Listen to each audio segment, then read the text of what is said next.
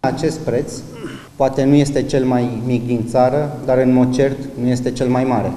250 de lei este prețul cu care se va factura către toți consumatorii.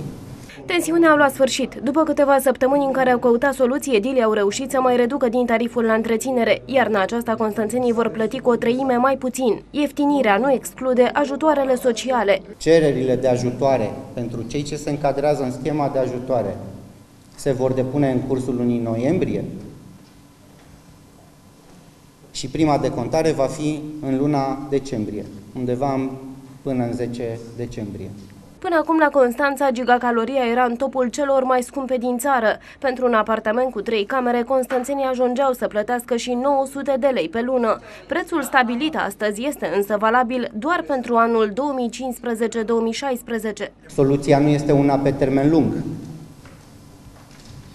Va trebui, indiferent de vâltoarea politică de anul viitor, să ne concentrăm spre identificarea unor, unor soluții care să conducă la o previzibilitate și predictibilitate pentru încălzirea constanțenilor.